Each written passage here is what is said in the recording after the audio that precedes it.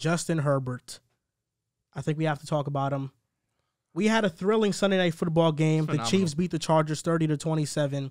The Chiefs are 8 and 2 and the Chargers are now 5 and 5.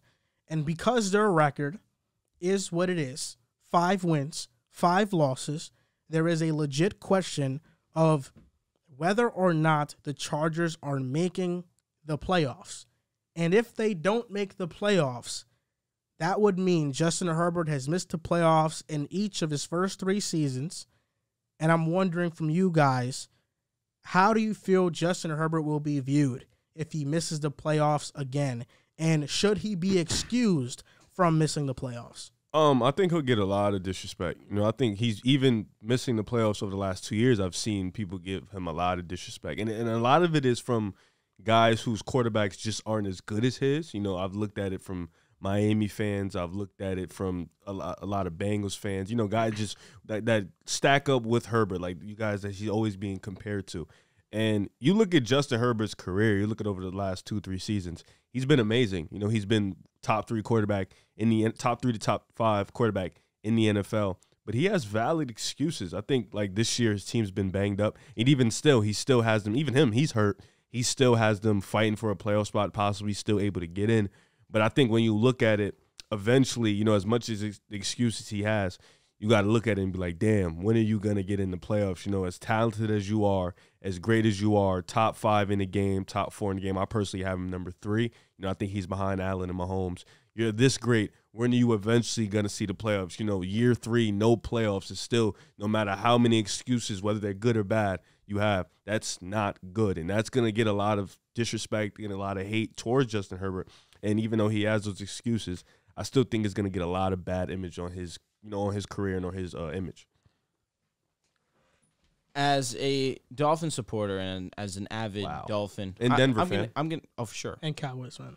And Uh, Giants. No, Giants. Cowboys, no way. Giants, Lions fan also. love my G men. Uh, I, it, again, so we're associated Giants. no, we're just going your ass real I'm quick. just wondering.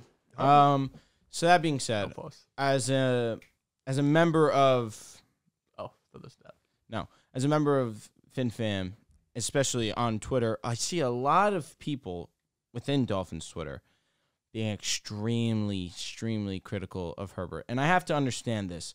Um, and I'm not someone who likes to criticize Herbert because I think that when it comes to talent, there are very few more talented than Justin Literally Herbert. only two. But the Dolphins fan, the average Dolphin fan, I should say, or majority of them, they will group Herbert and Tua till the day they die because that was picks five and six. Now and and Chargers fans love to say how thank you Dolphins, thank you Dolphins for giving us Justin Herbert. So I understand why they will constantly try to bash Herbert as much as they can. But being someone who is in Dolphins Twitter, I am not going to be one to do so because I understand circumstance and context.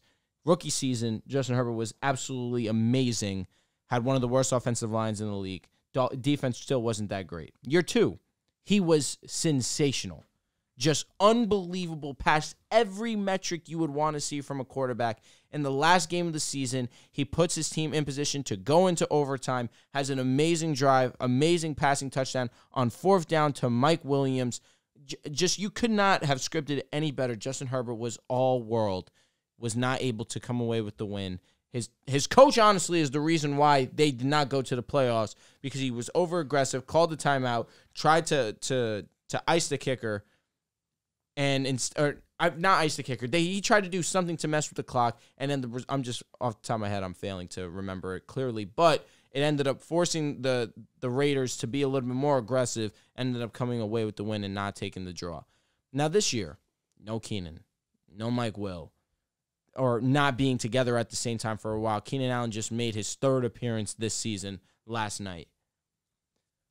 I just can't look at Herbert this year, where even still he's top 10 in yards, top 10 in touchdowns, and and still be super critical of him.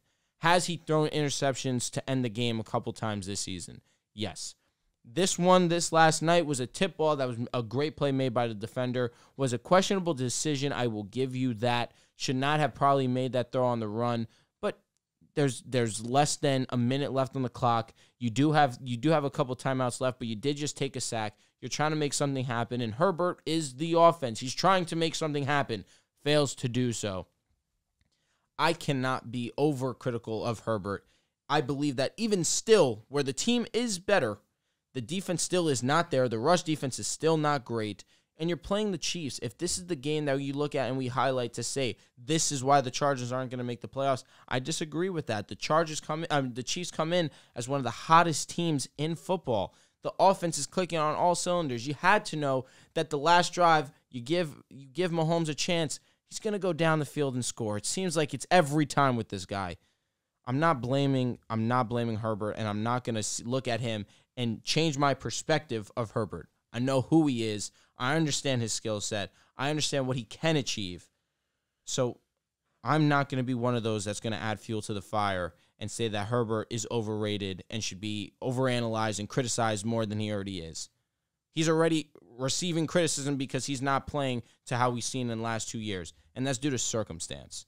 And even still, he has his team in a position to make the playoffs. That's a testament to how great Justin Herbert is. There's a brand new fantasy app. It's called Boom Fantasy. You got over unders, player props, you got matchups. This player versus that player. That's personally my favorite and long shots. You can win 40 times your money. And if I'm not mistaken, Joel, NBA is coming soon. Yes, sir. NBA will be in the app in the next 10 days or so. You know, I believe opening night is October 19th, so we'll have stuff up a few days beforehand. Uh, That's going to be fun because we have it every night. You don't have to wait Did till Monday, your, did you get your code? The league pass? I did get my code I for got my Pass. code too. Yep, that's amazing. That's from 2K, right? Yes. That's tough. amazing. That's fire. So if you guys haven't already, download the Boom Fantasy app right now. Link is in our description or in the caption wherever you're watching. To answer the question plainly, how is he going to be viewed? He is going to be, be viewed as a quarterback that doesn't win. It's as simple as that. That can't will his team to the playoffs. I think there's a lot of similarities with Justin Herbert to Matthew Stafford in Detroit, where Stafford was miscasted as a quarterback that was a losing quarterback because of the line situation. I do understand the line situation is, is better. I mean, no, the, the line situation was worse than the Chargers, although you did have years with Calvin Johnson. You did have some years where your defense was great, and that was the years that, that made the playoffs. Justin Herbert was phenomenal versus the Chiefs. 280 yards, completed 76% of his passes, had two touchdowns, a 113.2 passer rating. The interception was with 38 seconds left in the clock. It was a bad decision, there's no doubt. But the drive before, he led the Chargers down the field, Sure. got a touchdown. If his defense holds up, they win that game. And that's kind of been the story between these battles with the Chargers and KC. The Chargers play them well, but they, it's always Mahomes who's making the last and final play. People will mention Her- Herbert's late game interceptions as a reason as to why he's not clutch.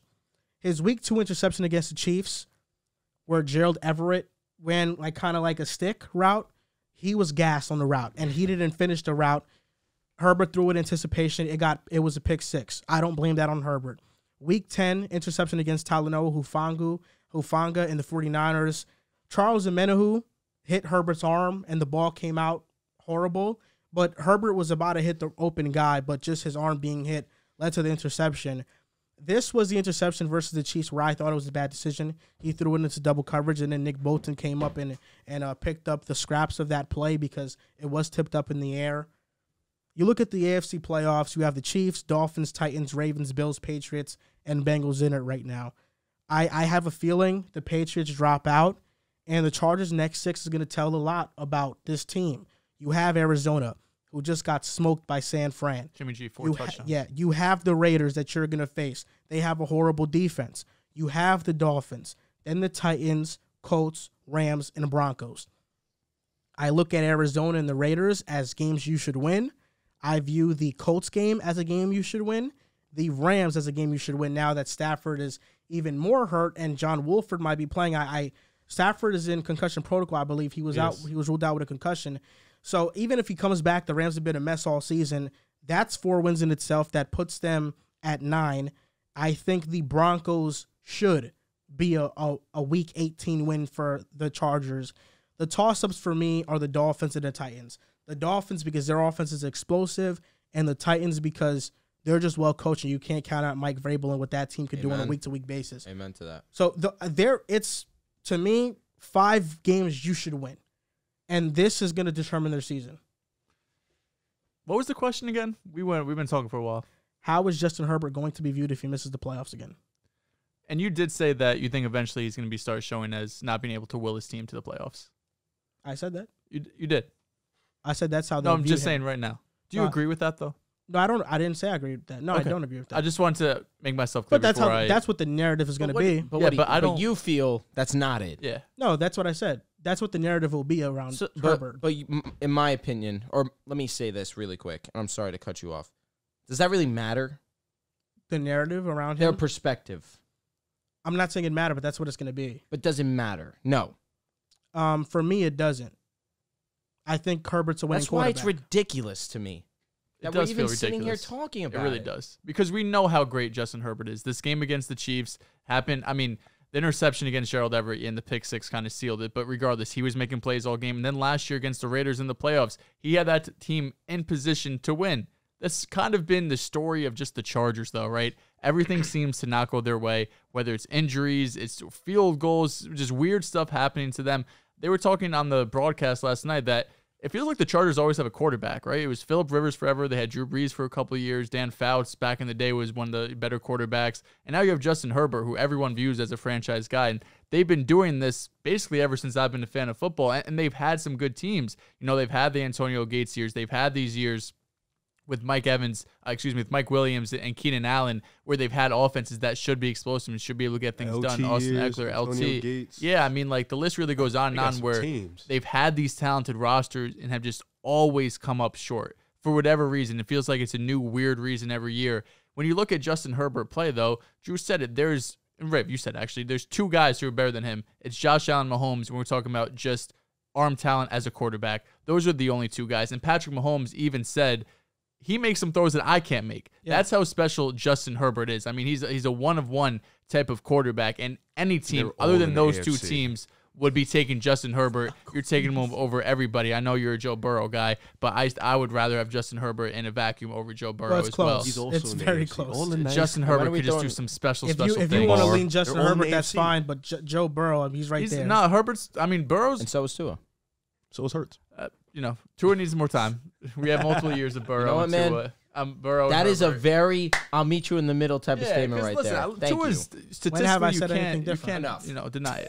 Hey, I just want to let you guys know that quietly this season, Jimmy Garoppolo has a 100 passer Nah, rating, he's been good. 11 been touchdowns to good. four interceptions, and today had four touchdowns to zero a career interceptions high. and a 131.9 passer rating. I need my brothers right now. Next week, playoff start in fantasy. I'm torn. Jimmy Garoppolo or Tom Brady?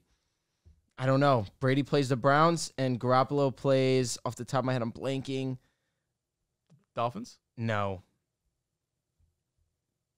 Damn it. Who does he play? One sec, one sec, one sec, one sec. New Orleans. This is one of the tougher decisions I've had. to make. Garoppolo this year has had a 100 passer rating five times. His worst passer rating game was against the Broncos, 81.3. Hmm, I need my brothers right now. Brady or Garoppolo. That's tough. I don't know. Garoppolo? That's tough. no, it's a two. Neither of them play Thursday, right? I would go with Brady. I think that's what I'm leaning to. You have Godwin too, right? I do. I'm starting Gotti. Yeah. Gotti's an Gotti- insta Gotti is start. actually a firm nickname. yeah, I know. Very Lil- I call him fire. Lil Gotti. But to the Chargers, Yo, Gotti. if they miss the playoffs, Brandon Staley should be fired. Yeah. Ooh. It's as simple as that. I You probably will be. 100% They'll agree. everyone, all the coaches who are out there can look at the Chargers as the top job to get because 29th in points allowed. They're 19th against the pass, 30th against the run. defense is dog shit. He has not fixed the defense, and that's the side that he should be an expert on. And I'm looking at coaching candidates. Sean Payton is the one that jumps out to you, but maybe the Chargers are a bit hesitant because you do have to trade something to get Sean Payton. You just can't do? sign him. Yeah, he's under contract with the Saints, so you have to give them a draft pick or something Wow, really? to get That's- Sean Payton. So what is he like? He's just not. He's under contract until 2024. Yeah, but them. those they could easily do it behind the scenes where Sean Payton's basically like, I'm coaching for the Chargers and no one else, and they'll take a six round pick. I doubt that's going to happen.